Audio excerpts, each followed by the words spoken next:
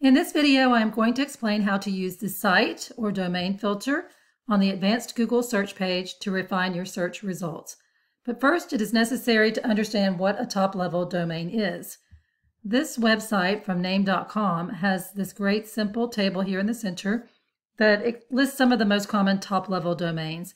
And when these were first developed in the early 80s, the domains were designated for specific purposes or types of content creators.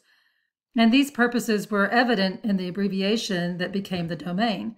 For example, .com served commercial entities. .org was for nonprofit organizations. .int for international organizations. .edu for education and schools. .gov for government sites, and .mil for military sites. And over time, the rules have been loosened and some changes have been made that make a site's top level domain a little less precise. But there have also been some additions. For example, countries have their own top level domain to identify each country separately, like .us for the United States and .nz for New Zealand. Most content creators want their website to reflect their purpose, so you should still mostly continue to see a pretty strong connection between the type of content and the top level domain that is assigned to it. Two domains that have not really changed much at all are the .gov and .mil.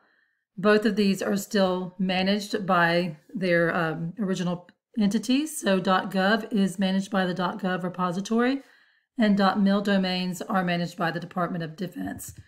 And so we can take a look back here at our Google Advanced Search page and let's just search a simple search for retail um, sales. Let's do retail sales. That's a hot story right now. We're getting lots of great millions of results, um, a lot of them from newspapers and .com sites talking about um, how the sales are going, retail sales are right now. But if we wanted to see how the government is analyzing and collecting this information, that's when we need to go to our advanced search. So remember that's under settings and go to advanced search and right down here under the filters, we can choose to limit this to a .gov domain. And so now we're going to get sites from the government like the census, like the Bureau of Labor Statistics. That's what the BLS stands for. So we're getting much better results for our purpose this way. We could also search within one of these specific domains like census.gov. So if we go back over here to our advanced search, we can type census in the front of this .gov and press enter. And now we're just getting websites from the United States Census website.